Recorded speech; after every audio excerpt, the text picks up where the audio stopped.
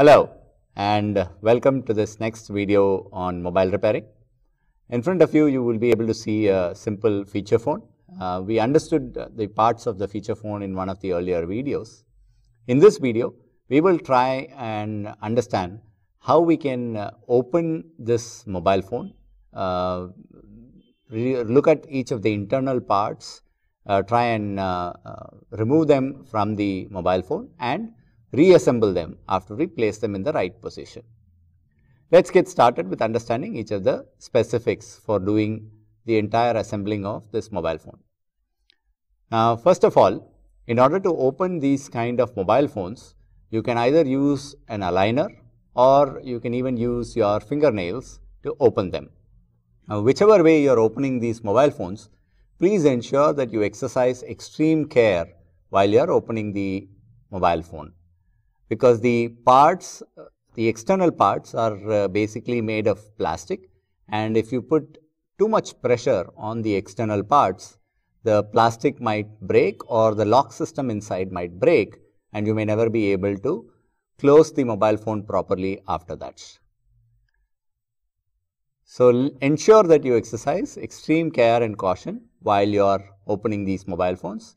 Even if you are using an aligner, please ensure you use a flat head aligner a very thin flat head aligner is what you need to use to ensure that you open these mobile phones properly without causing any damage to the mobile phone or its internal parts. Now, before opening the mobile phone, first ensure that you remove the back cover. In this phone, you have a small button there, you press it and you can slide the back cover outside.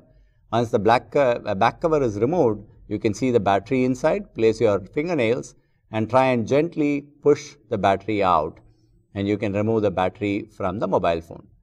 Now, you will be able to see the SIM card slot, the battery connector uh, and other parts on the back side. Now, let us go and open the front panel. Now, in order to open the front panel, you can as, as we spoke earlier, you can either use, either use your nails or you can use a very small aligner. So, let us slide our nails in from one end of uh, the front panel and slowly start sliding down our fingers to unlock the front panel. As you can see here, place your fingernails gently on one side and start sliding it down the way you see it on your screen and you will be able to see that the front panel is uh, getting unlocked. Now, do it on the other side and you will be able to unlock the front panel. As you can very clearly see, it is a very gentle process. Please ensure that you do not apply too much force while you are doing it. Otherwise, the locks inside could break or even the plastic covering could break. So, even when you are using aligners, please ensure that you place, it gently and push the front panel out. Now, we have opened the front panel and this is where all your keypad and the uh, display screen or the um, plastic screen is placed. Inside, you will be able to see the display panel. This is called the display panel and the speaker panel. This is where uh, the display is mounted as well as the speakers are mounted. This is uh, uh, placed in position with the help of a couple of screws. Use the right aligner to open these screws. Always ensure that you place the mobile on a fixed table to do it. We are using the hands now to ensure that we are able to capture it on the camera. Once you have removed the necessary screws, you can slightly shake it out and the display panel is uh, completely removed now. Once you remove the display panel, you will be able to take the PCB out. Now, PCB as you know, we have understood PCB in our earlier video also is a printed circuit board on which all the components are mounted. So, this is the front and back of the PCB.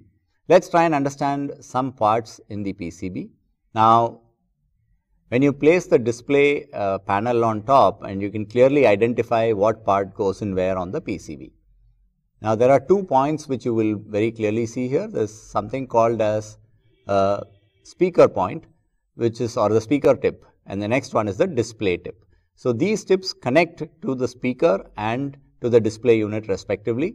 So, the speaker unit touches the speaker and that is how you will be able to hear uh, the other person's voice the uh, display tip is placed here. So, the display tip touches the display unit and that is how you will be able to see the display. These are the keypad tips on which the keypad rests. So, whenever you press the key on the keypad, these tips get activated and that is how the information is sent into the CPU of the mobile phones. Let us move on to the back side of the PCB and try and understand what components are there. Now, let us try and place this PCB on the backside of a mobile and try and understand what points go into which part. Now, the first one is the SIM card tip.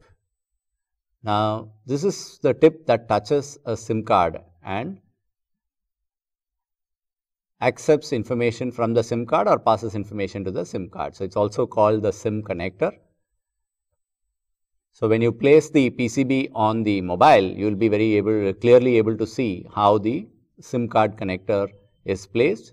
So, the SIM card connector can be very clearly seen here. So, you place the SIM by opening this lock and the SIM card comes in contacts, contact with the SIM connector and then you lock it back and your SIM card will become functional.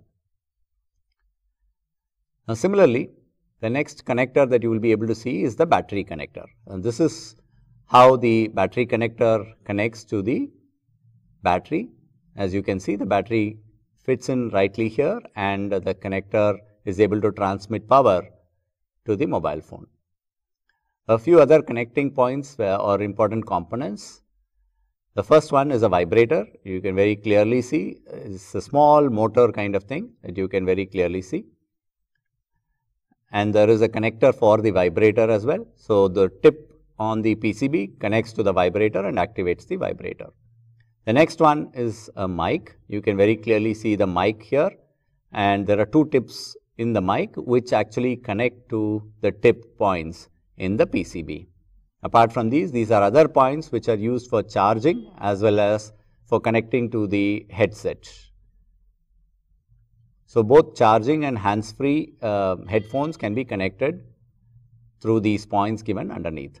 Now, let us try and open this component, slightly push it out and you will be able to take that component out and you can see this particular piece. You know, so if there is a problem in this part of, uh, of the mobile phone, you can replace this part so, on one side is the uh, bat, uh, the charging tip and the other side is where you will have the headphone tip or the hands free headphone tip.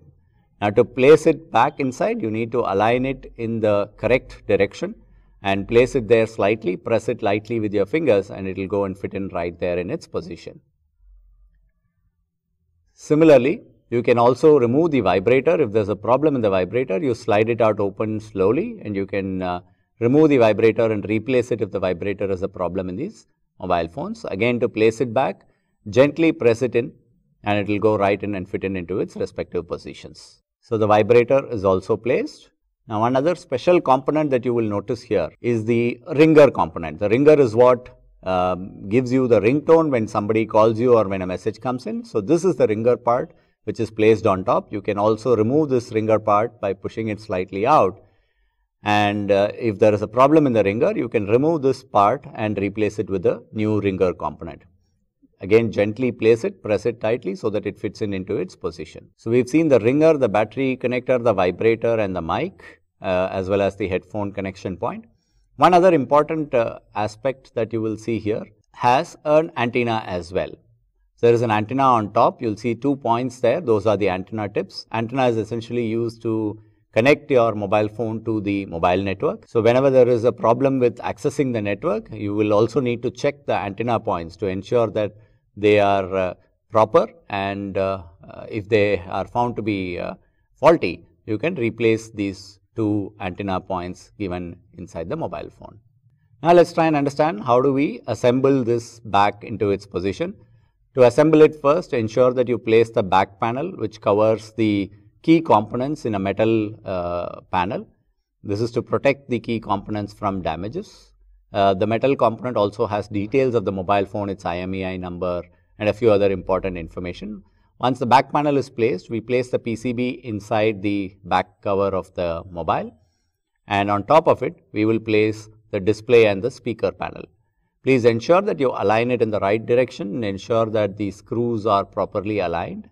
Once you place it back, uh, pick up the screws that we removed earlier and place them in the right position.